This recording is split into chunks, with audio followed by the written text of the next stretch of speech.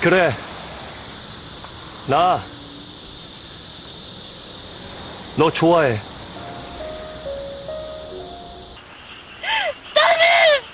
오빠를 사랑합니다. 오빠는 제 운명입니다.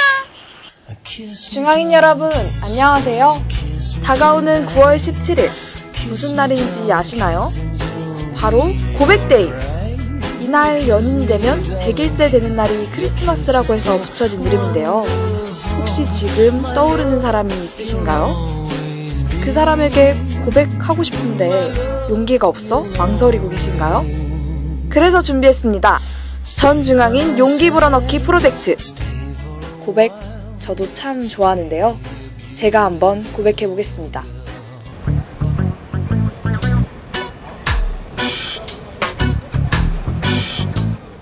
시간 되세요? 왜 그러시는데? 저 여자친구 있으세요? 왜, 왜 그러세요? 아니 저 번호 좀 받을 수 있을까요? 네. 제 걸로 줘요. 아, 안 돼요?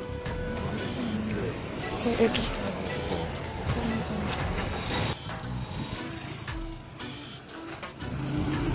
진짜 왜, 왜 그러세요? 아니 저 마음에 드셔가지고. 제가요? 네. 혹시 그럼 저랑 사귀실래요? 아, 저, 죄송합니다. 아니요, 그- 아니 그냥 번호 주셔도 되는데. 아 잠시만요, 잠시만요, 잠시만요. 번호 좀 얻을 수 있을까요? 네.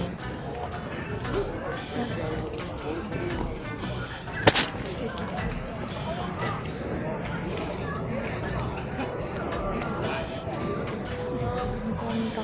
저 혹시 저랑 사귀실래요?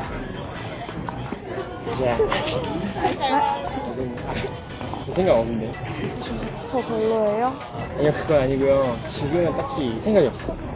좀 사귀어주시면 안 돼요? 저 여유가 없어가지고. 제발요. 아, 죄송해요. 시간 잠깐만 주세요. 무슨 일이신데요? 저 혹시 여자친구 있으세요? 왜요? 저 번호 좀 받을 수 있을까요?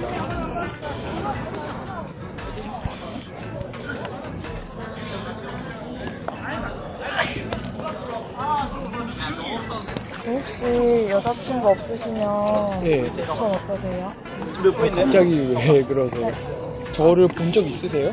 그냥 저기 끝에서부터 걸어오시는 거 봤는데 마음에 들어서 지금 현재 없기는 한데, 그냥, 일단은 그냥 알, 알고 지내죠, 그냥.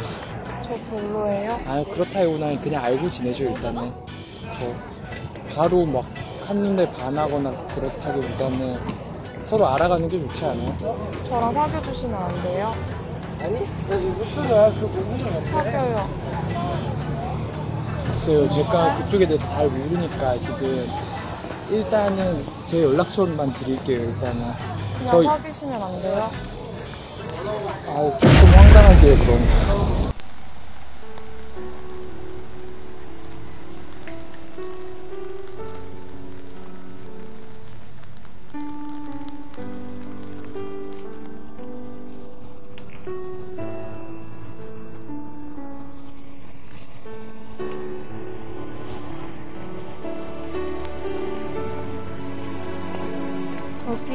네? 혹시 시간 있으세요? 네? 뭐라고요? 시간 없는, 시간 없으세요? 저 그럼 여자친구 있으세요? 지금 없는데요. 저 그럼 번호 좀 받을 수 있을까요? 네.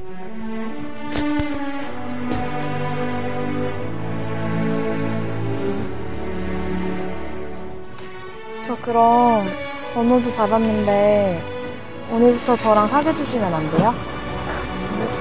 뭐라고요? 오늘부터 저랑 사귀어주시면 안 돼요? 진짜죠? 네, 진짜인 거죠? 네.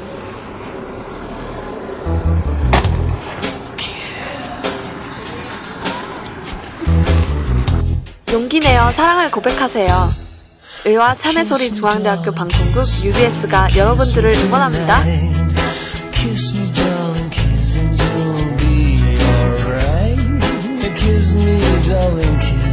your kisses so warm.